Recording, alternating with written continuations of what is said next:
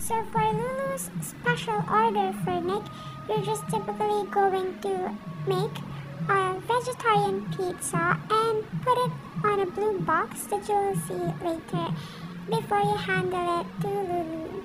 Got it? Enjoy!